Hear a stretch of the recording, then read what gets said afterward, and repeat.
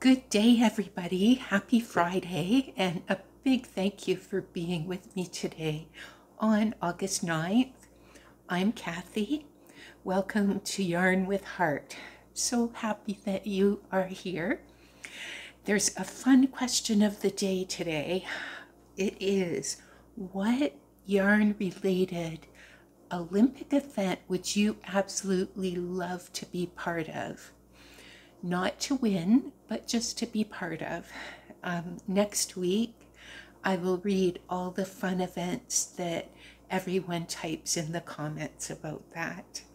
Um, my fun yarny event that I wish for would be pattern collecting. So that would be what I would start off the list with. um, so I am so grateful for all of you who've been with me since the very beginning. And I'm grateful for people who've joined more recently. And I realize that there are many new people who are watching. So I thought I would do a bit of an introduction about this channel and how it came about. So in September 2023, I stepped way out of my comfort zone and made my first video public. I do crochet a lot and I also knit. So far, I do a little more crochet and a little less knitting, but I try to knit a bit every day, at least a half hour, often more. And my skills at both have been getting a lot better this year. And one of my big knitting goals this year is to knit a sweater. And overall, my goal is to complete 12 blankets and 12 hat and scarf sets for casting off the cold. I've been also making things for other uh, organizations as well. Things I make are varied shawls, blankets, hat and scarf sets, and I also like to make smaller items to gift to family and friends. Also, the small items can be sold at a local charity bazaar. A few of those sometimes go there. Often, the smaller items help me to learn a new skill. Some of these skills are not even crochet and knitting, so that's uh, something else that occasionally comes up here on the channel. I'm I'm a bit of a homebody, and this vlog is to meet friends and to give back to the online yarn community where I have learned so much over the years. It is where I meet so many wonderful people. So each Friday, I share about what I'm making, patterns used, sometimes about events that I'm following, and I share about places where I have acquired yarns. Much of the time, that is acrylic yarn, and I that's yarn I can use for donations.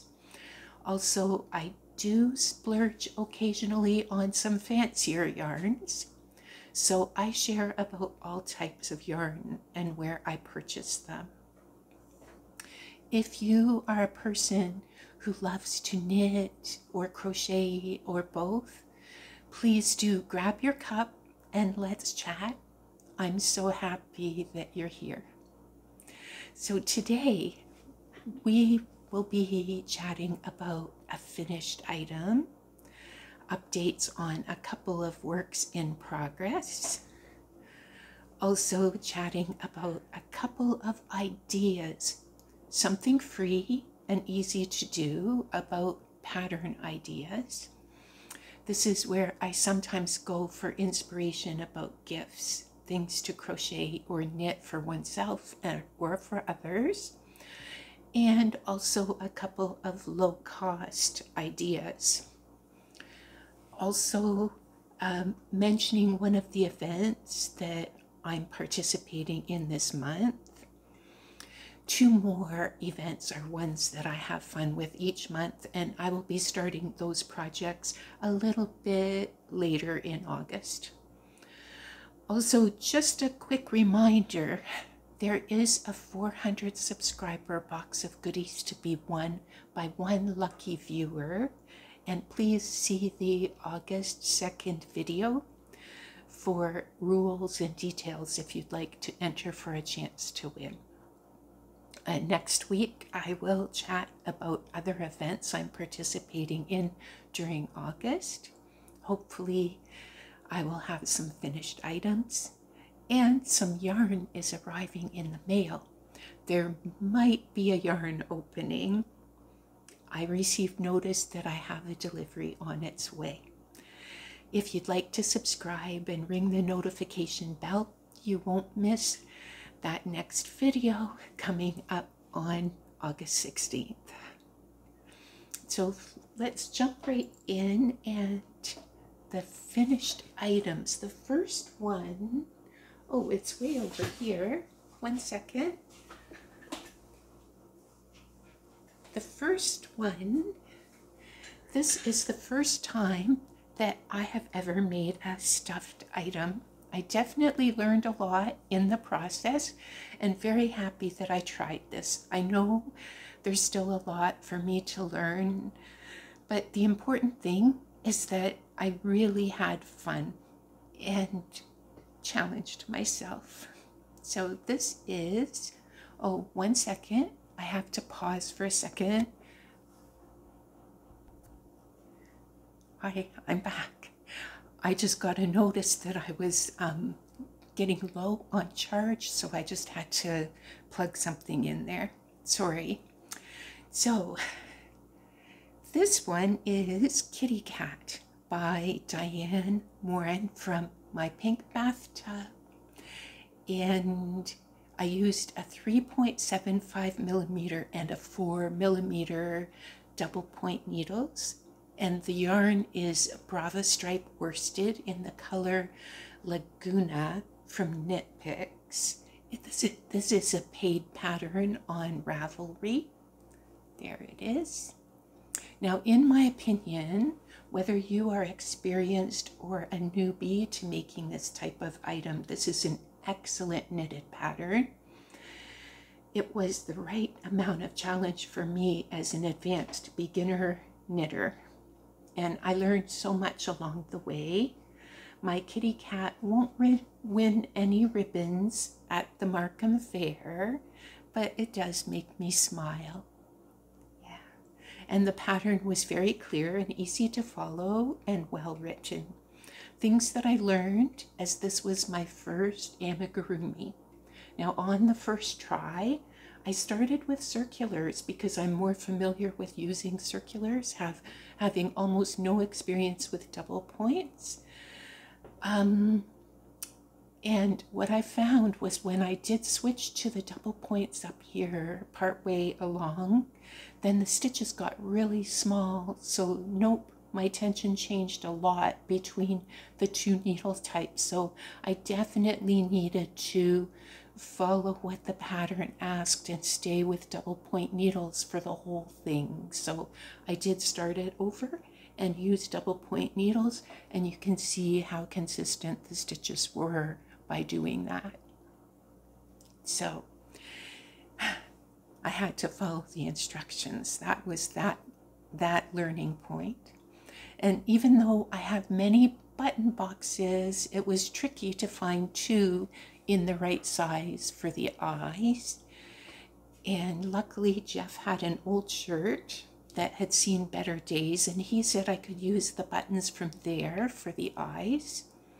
And I sewed up the top of the head. This was another learning point for me. Um, I sewed up the top of the head before putting on the buttons and the mouth, and probably should have done those parts first before sewing up that top part, as it might have been easier for me as a newbie. I would have had more room to maneuver around when I was sewing on those little bits and pieces. Uh, now, also, I was overeager when finishing the second ear and I forgot to put stuffing in it before I closed everything up. So I filled that ear by squeezing stuffing up from the bottom up to the ear, so to speak. Yeah, so I have no name so far for this little rascal, and maybe you can help in the comments with ideas what I should name her. Otherwise, her name will be the very uninspired kitty cat. Uh, next, I will talk briefly about my works in progress, and after that, an idea I have about finding ideas for gift giving for others and for oneself. So now, my works in progress. I'm continuing to work on my Boggy Creek Camp Christmas blanket. Now, this will also be my submission to Judy's Creations in Crochet Summer Cal. I'm making a blanket for that crochet along. And for anyone who'd like to jump in, it's still early days and you have until I think the first week of September to uh, join and finish an item, as long as you're using at least four of the six stitches that Judy demonstrates. People can make whatever item they'd like to create. It doesn't have to be a blanket. And then you submit your picture by the due date to participate in this very fun summer CAL. So all of the squares in my blanket have been joined with a slip stitch through the back loop of each square. That is actually my favorite joint and I usually use it for all of my granny square blankets and I really like the way that let's see if I can lift it up here a little closer. I really like the way that it gives a bit of texture to the frame around each square.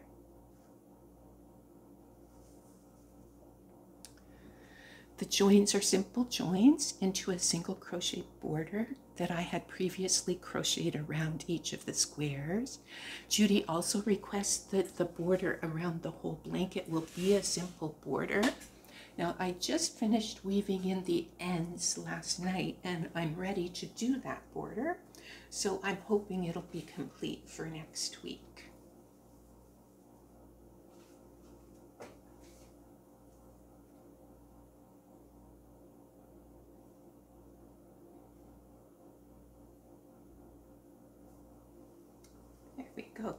I will take pictures right after the border's completed and submit those to Judy. And then before I send it to Boggy Creek, I hope to attach appliques to the blanket to make it extra Christmassy.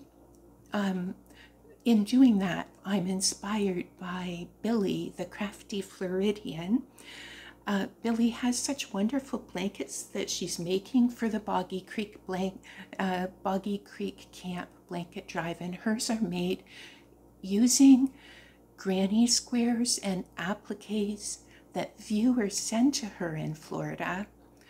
Uh, when I mentioned to Billie about maybe adding some appliques to my blanket, she said that would be a very good thing. So if you'd like, inspiration for Boggy Creek blankets, or maybe to send Billie some squares or some appliques, maybe pop over to Billie's channel. She she's amazing. And I'll put her link in the description box. Also, all the patterns that I do use and links to the people that I refer to here, those are all in the description box. Now, the next item that is a work in progress. I started another knit item. And that one is um, a knit blanket. This one's called Ch the Charlie Baby Blanket. It's bought by Marianna Mel from Marianna's Lazy Daisy Days. I'm using a 4.5 millimeter needles and this yarn called Air Sur. It's a sample in the color clear water. It's 100%, no, 90% acrylic, 10% polyamide. Um, this I got a while back from Cambridge Fibers Limited, and I got a few yarn balls, maybe five yarn balls in total. So I decided that I would do a knit blanket in it. So the pattern is available for free on Ravelry. And here's the stitch pattern. I like the way that this one is working up. Here.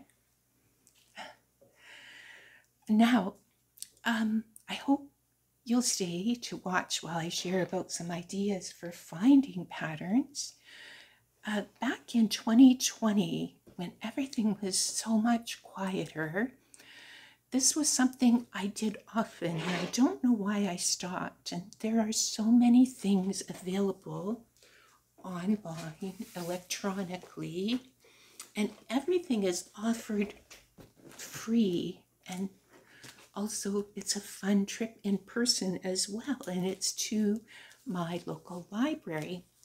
I've been making really good use of my library card the past few weeks. They have a lot of books and some magazines with patterns that are about gift items. Here's a few that I found. And here we go 50 knitted gifts.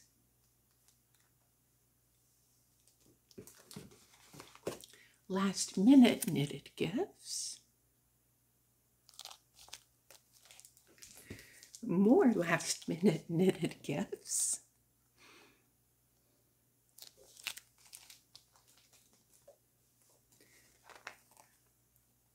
There's two of these, a hundred crochet and a hundred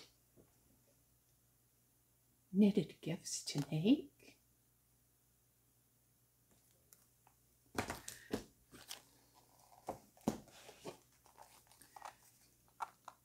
And this one is specifically for Christmas. Little Christmas decorations. Now, I even noticed that the online options have some knitting and crochet videos and tutorials at the library. Those are available to borrow. And also, the library has some online books and magazines available. Now, I, uh, I found out that if there's something that I'm interested in, I can request that the library make a purchase. And sometimes they will buy things to add to their collection, or they might check another branch of the library to see if that's available nearby. And some, if something is already in their collection nearby, then they will bring it to my closest branch so these are all ways to try a book before purchasing it. These specific ones, I can um, list the title and the author in the description box in case you wanted to check into them a little more closely. Um, if I find I'm only interested in one or two patterns after I borrow it from the library, this is very helpful because I can just make those items and then return the book. Uh, Ravelry has an option on their database to allow searches for free patterns, and that's another uh, good option.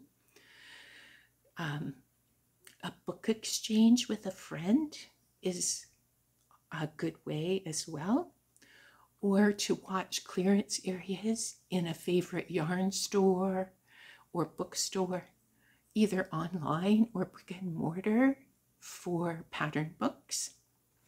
Now, if you have any other places where you like to look for patterns for gifts, please do share them below so that we can all learn from each other.